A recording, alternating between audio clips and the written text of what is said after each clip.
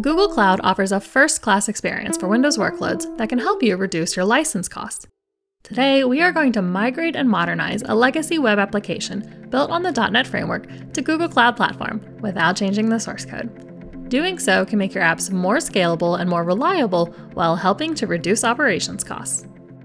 We're starting with this familiar e commerce shop. It was built using the .NET Framework version 2.0 and still works.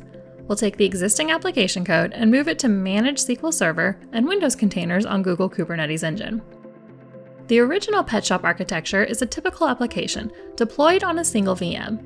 It has two tiers a presentation layer, which is .NET hosted on IIS on Windows, and a data layer with four SQL Server databases deployed on the same VM. We want to modernize the presentation layer to leverage the scalability and resiliency of Kubernetes.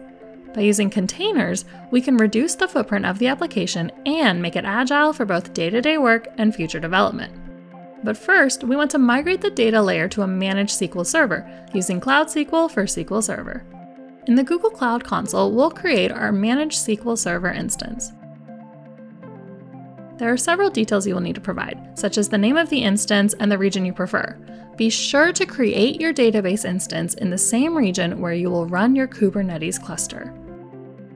Once the instance is created, we need to migrate the databases.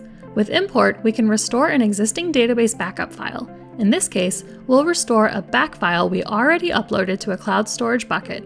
We'll select our file, give it a name, and import. Once we do this for each of the four original databases, we can see the SQL Server instance and the databases right here from the Cloud Console.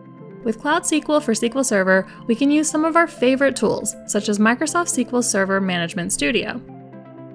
We'll need to use SQL Proxy to help ensure the connection between our local machine and Cloud SQL is secure. Once SQL Proxy is installed, we'll launch it and point to the instance we just created. As you can see, the proxy is saying it is ready for connections. We'll use SSMS. We'll provide authentication details. Note that the server name is localhost, this is because we use SQL Proxy, which abstracts the actual address of where the server is located. After this connection is established, we can see the databases and interact with them. We have now migrated our data layer to GCP. That means we can turn our attention to the presentation layer and the .NET web application. Now we don't need to change anything in the existing web app code. All we need to do is create a Docker file. With Docker, containerization of our app is just three steps. First, base off of the ASP.NET 3.5 base image. Second, step into the working directory of IIS. And third, copy the content of this application into the container. To build the container image using the Docker file we just made, we'll run the command docker build on a Windows machine that has Docker CLI installed. Then, to push this new container image into the Google Container Registry, we'll use docker push.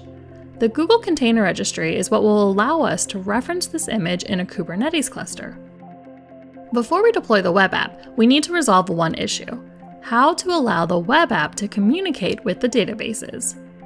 Our new architecture is built around containers. We can install the Cloud SQL proxy as a sidecar alongside our web app. This means that the web app and Cloud SQL proxy will be on the same network, and this will allow the web app to communicate with the database using localhost as a server. So we'll need to update the web.config of our web app so it uses localhost in the SQL Server connection strings, and then rebuild our container image and push it to the container registry. We'll also build a container image for the SQL proxy.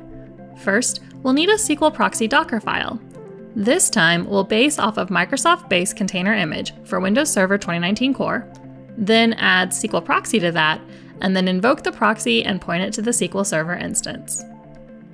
In Docker, we'll build the container image and then push this image into the registry.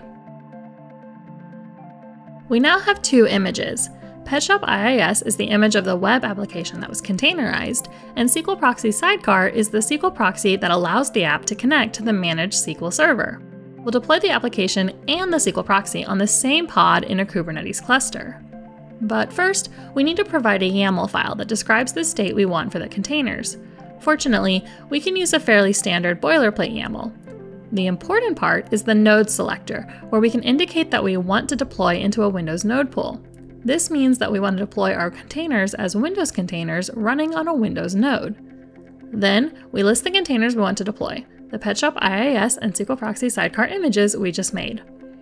Finally, we'll expose this application using an external IP. We'll use kubectl to deploy our containers and check the status of our web app. Apply starts the deployment. Get services lists the external IP address of the web app. Get deployments lists our deployment, now living in the cloud. And get pods lists the pods, showing that the application is up and running. At this point, we've modernized our web app into a Kubernetes managed app running in pods with one container for the .NET app and a second container for the SQL proxy with secure connections to the managed SQL Server database. The advantage of an architecture like this is that we can scale to two pods with a single kubectl command. Check the documentation to get started and try it out for yourself.